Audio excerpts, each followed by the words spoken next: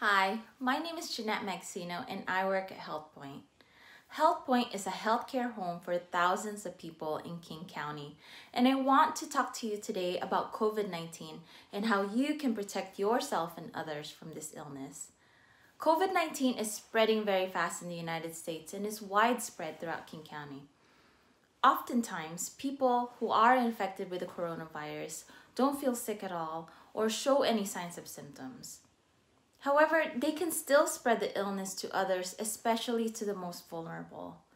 So, what's the best way that we can protect ourselves and others? Stay at home as much as possible. Wash your hands often and wear a mask if you must go out in public.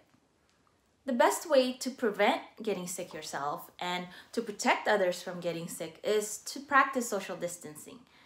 Here in Washington and many other parts of the US, Businesses, schools, churches, and even parks are closed to try to prevent the illness from spreading even more.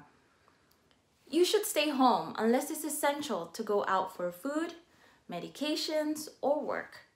But if you must go outside your home, try to keep a six feet distance between yourself and others when you do leave the house.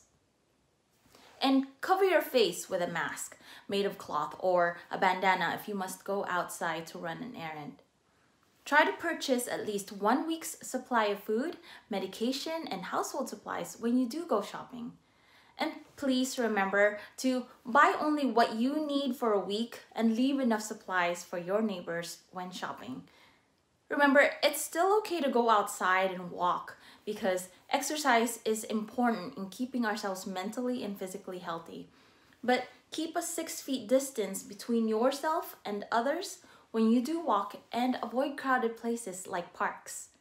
Remember, stay home, stay safe, stop the spread, and let's stay healthy together. If you have questions or want more information about COVID 19, visit the link below and you can follow HealthPoint on Facebook and Instagram for more tips and information about staying safe from COVID 19.